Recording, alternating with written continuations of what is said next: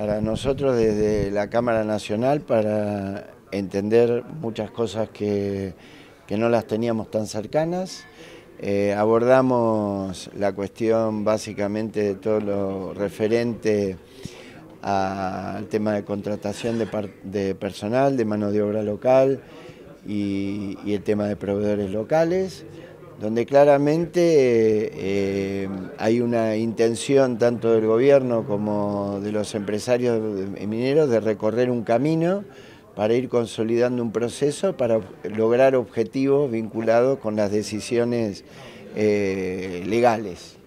pero transcurrir un camino. Es muy importante la conjunción del gobierno, la gente que vive cerca de, donde se están desarrollando los emprendimientos y obviamente los empresarios. Definitivamente, hoy el, tema de la comunicación y la integración público-privado, la participación de las comunidades, la participación del sector de los trabajadores y demás, van a permitir que se construya una minería sólida, no solamente acá en Catamarca, sino que es lo que estamos buscando en todo el país.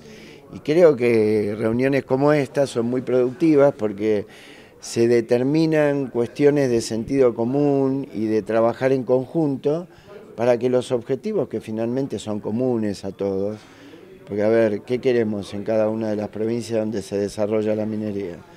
Queremos empleo genuino, queremos empleo de calidad, queremos mayor bienestar para las poblaciones y de alguna manera la minería es una herramienta fundamental y sobre todo en provincias como Catamarca, que hoy tiene a la minería como creo su actividad central y con un potencial enorme y con proyectos concretos que están avanzando. O sea, no es una ilusión, sino que es una, eh, una realidad que se va construyendo y el hecho de que haya una interacción público-privada seria, responsable, con puentes de confianza, poniendo sobre la mesa eh, las inquietudes que cada uno tiene, me parece que es el camino que hay que recorrer. ¿El gobernador les pidió más inversión en, Catamarca? ¿Están trabajando en acciones concretas en cuanto a esto? Bueno, eh, él lo que dijo claramente y yo comparto es que las propiedades que están otorgadas eh, tienen que ser utilizadas para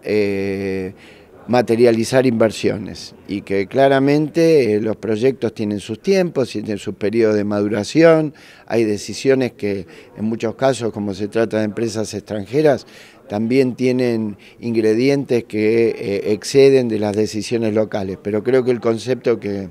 que manifestó el gobernador en el sentido de que se tiene que evitar la especulación con respecto al manejo de propiedades y demás, y que las propiedades inactivas este, tienen que reactivarse,